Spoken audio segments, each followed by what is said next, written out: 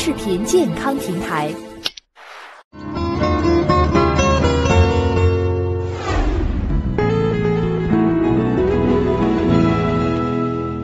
单纯疱疹呢，呃，是由于单纯疱疹病毒所导致的一种疾病，所以单纯疱疹呢，它会有一些疼痛，还有瘙痒。呃，比如说痒的特别重的这种呢，我们还是要给予一些个呃抗组胺的药物，呃，来对症的这样治疗。比如说瘙痒特别重的这些呢，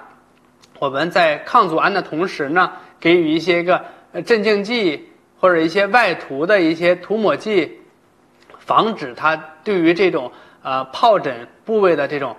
搔抓。因为当你如果瘙痒特别重的时候呢，我们就会忍不住去抓这种局部皮肤。如果抓了坏了以后呢，不光是